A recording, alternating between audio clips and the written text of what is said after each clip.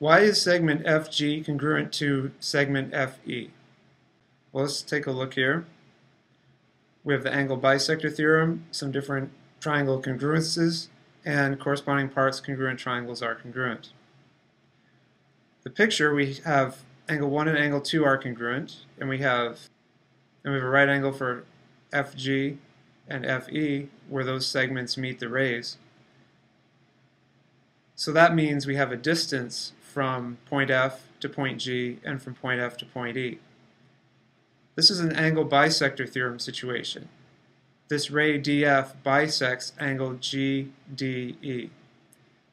The angle bisector theorem says if a point is on the bisector of an angle, then it is equidistant from the two sides of the angle. And equidistant means the same distance. So that means that segment FG and segment FE are congruent. So your answer is the angle bisector theorem.